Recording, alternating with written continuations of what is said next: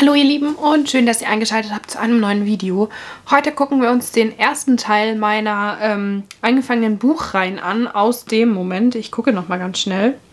Die sind vom 28. August, also davon ist das erste Video hochgeladen und das sind drei Teile und wir werden uns auch in drei Teilen quasi die Videos angucken und dann schauen, was ist denn schon weitergelesen, äh, woran hat es gehakt, warum habe ich nicht weitergelesen und so weiter und so fort, was habe ich vielleicht aussortiert wie auch immer.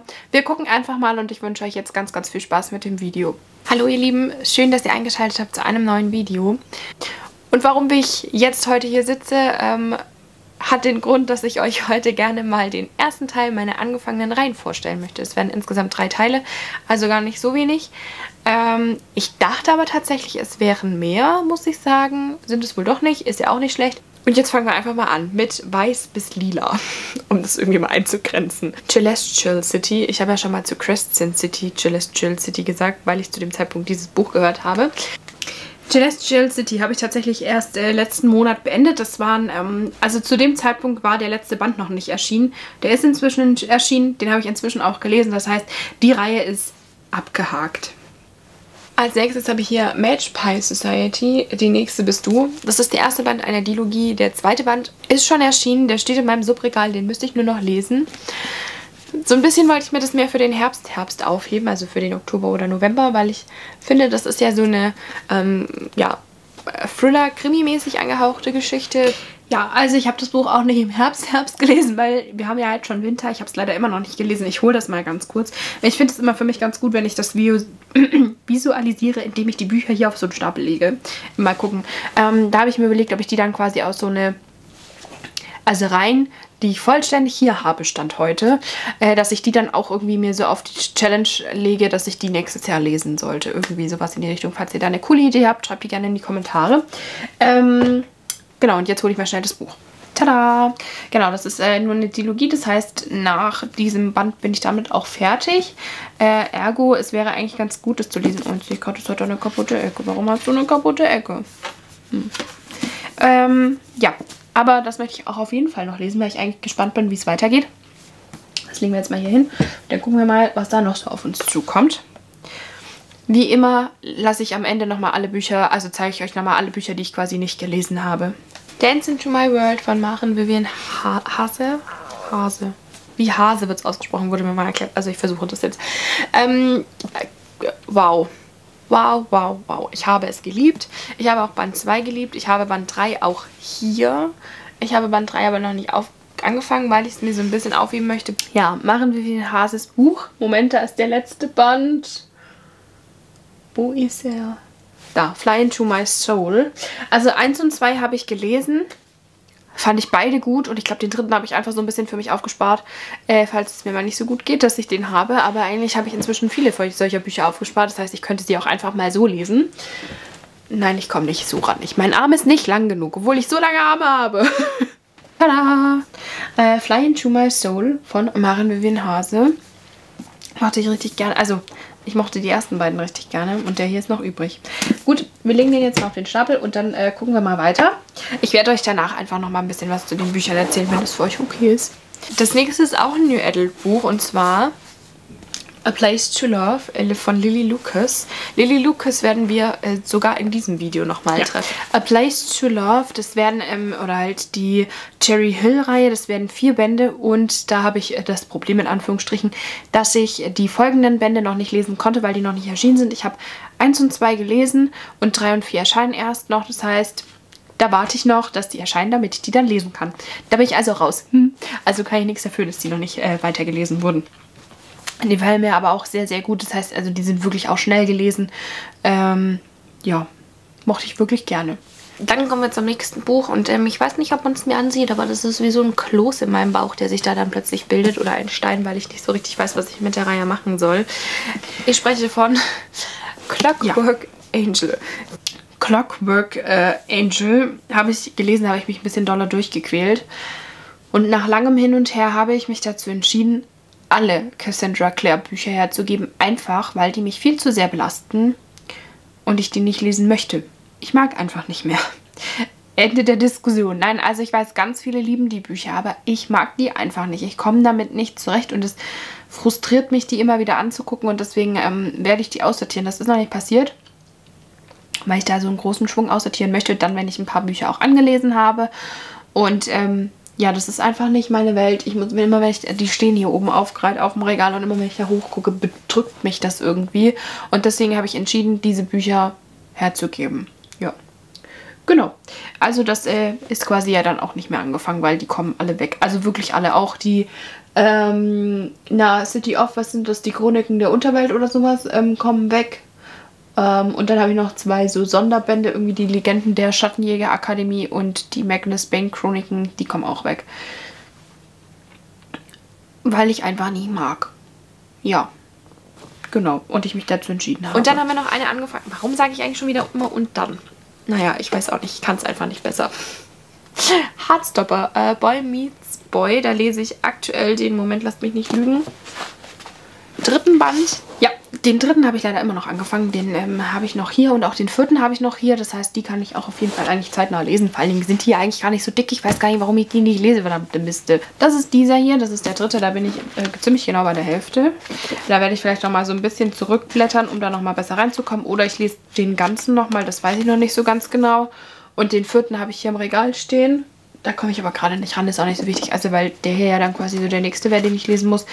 Generell habe ich aber auch hier vor, den ähm, oder die Reihe generell zeitnah abzuschließen. genau, wir haben hier noch New Beginnings von Lily Lucas. Habe ich ja vorher schon angemerkt, dass das noch kommen wird. Da habe ich noch den allerletzten hier, den New Chances. Der steht in meinem Subregal. Ja, und ich habe den noch nicht gelesen, weil ich den, glaube ich, noch für so einen Moment aufheben will, wenn es mir nicht so gut geht. Hier haben wir es wieder, den hebe ich auch für so einen Moment auf. Ähm, da komme ich, im Moment muss ich wieder aufstehen. Naja, ist wenigstens gut für meine Schritteanzahl. Ich muss ja irgendwann mal in mein Brautkleid passen. da haben wir das gute Stück. Ähm, den habe ich tatsächlich eben auch noch nicht gelesen. Hier hatte ich auch mal zwischenzeitlich überlegt, ob ich die alle quasi hergebe und mir die Bücherbüchsenausgabe hole. Aber ehrlich gesagt war ich dann zu geizig, weil das auf jeden Fall ein Draufzahlgeschäft für mich gewesen wäre. Und zwei davon habe ich auch zum Geburtstag von einer Freundin bekommen und deswegen habe ich es nicht gemacht. Ich weiß, einige haben das getan, ich äh, nicht. So, ähm, genau ja, den hebe ich halt tatsächlich echt noch so ein bisschen auf, weil ich halt die anderen so, so gut fand und den mir so ein bisschen aufsparen möchte. Aber vielleicht wäre tatsächlich jetzt auch einfach so ein Zeitpunkt, um den zu lesen, um so ein bisschen aus der Flaute rauszukommen. Mal gucken. Sind doch einige. Ich hatte gehofft, es wären mehr, weniger. Aber nur gut. zweite Band liegt tatsächlich ähm, schon in meiner Rache des Subkiste. Die wollte ich wirklich jetzt auch demnächst noch lesen. Vielleicht fange ich das auch noch. Nee, Anfang tue ich es nicht. Ich werde jetzt erstmal beenden, was noch zu beenden geht in diesem Monat. Aber vielleicht kann ich es im September lesen, weil ähm, Breakaway hat mir wirklich gut gefallen. Ja, wie ihr vielleicht gerade an meinem ähm, verzweifelten, suchenden Blick gesehen habt, das ist noch hier. Ich weiß nur gerade nicht, wo genau es liegt. Ähm, ich blende euch einfach hier das Cover ein. Nein, ich suche es. Moment, ich gehe es kurz suchen. So, hier ist es doch. Ähm, Fade Away, das ist der zweite Band der Trilogie. Den habe ich hier, den könnte ich lesen. Der dritte ist auch schon erschienen. Den habe ich aber noch nicht gelesen und den habe ich auch noch nicht hier. Ja, aber auch, dass ich ihn nicht gelesen habe, ist ja logisch. Ich habe den zweiten noch nicht gelesen. Also ich habe ihn noch nicht hier. Ich habe nur den zweiten hier. Ähm, ja. Wie ihr seht, habe ich doch einige New Adult angefangene Reihen hier. Ähm, gut, da ist es halt oft auch nicht so dramatisch, wenn man nicht mehr weiß, um was es genau im ersten Band ging. Einfach aus dem Grund, weil die ja oft sich um unterschiedliche Paare drehen. Das heißt also, wenn ich hier nicht mehr weiß, wie die vorherigen Protagonisten hießen oder was das Problem zwischen den Protagonisten war, ist das nicht so wild, weil es hier eben um die kleine Schwester des Protagonisten aus dem ersten Band geht. Ergo ist es nicht so wild. Also wisst ihr, wie ich sagen möchte? Und ich glaube, das ist der Grund, warum ich es da so ein bisschen mehr schleifen lasse, als vielleicht in der Fantasy-Welt. Glaube ich. Ja, wir gucken mal, was noch kommt. Wahrscheinlich kommen jetzt nur noch Fantasy-Bücher, nachdem ich das gesagt habe, wäre ziemlich typisch. So, und jetzt kommen wir zum letzten Buch. Achtung, Heißhunger garantiert. Das Geheimnis der Schokoladenkekse, ein Fall für Hannah Swenson. Und zwar sind hier auch immer wieder ähm, Rezepte drin. Ja, das Geheimnis der Schokoladenkekse, ein Fall für Hannah Swenson. Ähm, die sind in sich auch abgeschlossen, aber es gibt eine Fortsetzung. Ich glaube inzwischen sogar Band 2 und 3. Die habe ich aber noch nicht hier und deswegen kann ich die auch nicht lesen. Die werde ich so schnell auch nicht anschaffen, weil ich genug Bücher hier habe und ich habe auch noch genug Krimis hier. Das ist zumindest aktuell mein Vorsatz. Ähm, ja, aber generell mochte ich die Geschichte richtig gerne. Also auf jeden Fall auch eine Empfehlung für alle, die mal so in so einen Krimi reinlesen wollen. So, wir gucken uns jetzt mal kurz die Bücher an, die noch hier sind und die ich auch lesen kann. Also, weil ich sie ja hier habe. Und zwar haben wir hier den zweiten und letzten Teil der Magic Pie Society. Ähm, hier geht es um eine Internatsgeschichte, die eben so Krimi- und Thriller-Elemente hat. Ähm, auf jeden Fall was für Leute, die gerne in die Richtung Krimi und Thriller einsteigen wollen, sich aber noch nicht an sowas richtig Blutiges rantrauen oder die einfach gerne sowas ähm, ja, Geheimnisvolles lesen wollen. Ähm, es ist auf jeden Fall Jugendbuch, also es ist auf jeden Fall ein Jugendbuch, ähm, aber schon spannend. Also auf jeden Fall echt cool. Ähm, der erste Band braucht in der Anfangszeit so ein bisschen, bis er anläuft und dann ist er richtig gut. Und jetzt ja, hoffe ich, dass ich den zweiten auch zeitnah lesen werde. Dann haben wir Fly into My Soul von Machen Vivian Hase. Äh, hier geht es um eine Tanzschule. Es geht hier auch um drei unterschiedliche Pärchen. Und hier im dritten Band geht es um Mackenzie, die wir bisher nur vom Hörensagen kennen, die quasi damals die Schule verlassen hat unter nicht so guten ähm, Bedingungen. Und es ist ja sehr spannend, was jetzt passiert, wenn sie zurückkommt. Glaube ich, ich mochte die ersten beiden auf jeden Fall sehr gerne. Sie sind sehr heimelig und gemütlich und man hat so ein bisschen Dance Academy Vibes oder auch so ein bisschen ähm, oh, Step into, nee, wie, nee, Step into heißt der erste Band, ähm, Step Up Film Vibes, finde ich. Und ich finde, man merkt auch, dass Maren selber viel getanzt hat und dass es so ein bisschen einfließt. Ja, auf jeden Fall ähm, eine Empfehlung, falls ihr die noch gar nicht kennt. Und ich werde mir jetzt mal den hier hinter die Ohren schreiben. Tatsächlich werde ich mir den hier gleich mal an meine Sofa-Ecke legen. Und zwar ist das der dritte Band von Heartstopper. Den habe ich, wie gesagt, schon so zur Hälfte gelesen. Eigentlich ist das da gar kein Eck. Da brauche ich vielleicht eine Stunde für, um den durchzulesen, wenn überhaupt. Ich weiß nicht, warum ich es nicht tue, aber jetzt werde ich es auf jeden Fall nochmal... Ähm, ja, jetzt ist es mir auf jeden Fall nochmal bewusster. Das, dabei, dabei helfen mir diese Wrap-Up-Videos auf jeden Fall auch. Ähm, generell geht es hier, ähm, das sind ja so Graphic Novels, habe ich das gerade schon gesagt. Wow, ich bin irgendwie ein bisschen verwirrt, ja. Hier also so Graphic Novel. Das ist Englisch, man kriegt die aber inzwischen auch auf Deutsch. Ähm, der erste Band ist auch inzwischen als Serie bei Netflix verfügbar. Und es geht hier eben um ähm, Charlie. Und Charlie wurde, ja, ungewollt geoutet und er trifft quasi in so einer Klassen, äh, in so einer gemischten Klasse aus unterschiedlichen Jahrgangsstufen auf Nick und findet Nick eigentlich ganz gut, aber Nick ist ähm, halt offensichtlich hetero und spielt auch, ähm, spielt er Cricket? Spielen die Cricket? Ich glaube schon. ähm, ist er auch so quasi der Quarterback. Ah, also halt nur im Cricket, keine Ahnung, wie die da heißen. Ähm, ist sehr beliebt und hat augenscheinlich auch eine Freundin. Und ähm, ja, was sich zwischen den beiden entwickelt, müsst ihr selber lesen. Ich fand es auf jeden Fall cool und falls ihr die Serie noch nicht kennt, die ist auch sehr empfehlenswert. Dann haben wir den letzten Teil von Lily Lucas, New Chances. Also quasi von der Green Valley Love Reihe. Und die mochte ich ja wirklich alle bisher sehr gerne. Und ich habe mir vorgenommen, vielleicht werde ich den einfach ab nächster Woche immer hören, wenn ich in die Arbeit fahre, weil ich höre die mega gerne. Die sind einfach super gut vertont. Und ähm, ja, ich hoffe auf jeden Fall, dass es äh, eine ähnlich gute Geschichte wird. So, und zu guter Letzt haben wir hier noch Fade Away von Annabelle Steele. Das ist der zweite Band einer Trilogie und es geht im ersten Band um Nick und, oh Gott, ich weiß nicht, wie sie hieß. Ähm, hier geht es auf jeden Fall um Kira und ähm, Kira ist die Schwester von Nick, so hängen die Pärchen hier quasi zusammen. Und im dritten Band geht es dann um den ähm, anderen Bruder, den es da noch gibt. Das sind quasi drei Geschwister.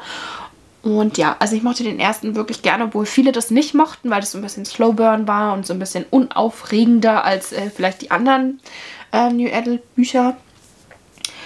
Aber ja, ich mochte es einfach gerne und deswegen bin ich super gespannt, wie mir der hier gefallen wird. Und ob der ähnlich wenig dramatisch ist. Ja, das war der erste Teil meiner angefangenen Reihen Wrap-Up. und ihr könnt mir gerne mal schreiben, ob ihr Lust habt, dass ich die anderen beiden auch noch mache. Und ähm, ja, ich hoffe, euch hat das Video gefallen. Schreibt mir auf jeden Fall eure Meinung in die Kommentare. Gerne auch eure Meinung zu den Büchern, die ich noch offen habe. Und dann wünsche ich euch jetzt noch einen tollen Tag, Nachmittag oder Abend. Fühlt euch gedrückt und bis zum nächsten Video. Ciao, ihr Lieben!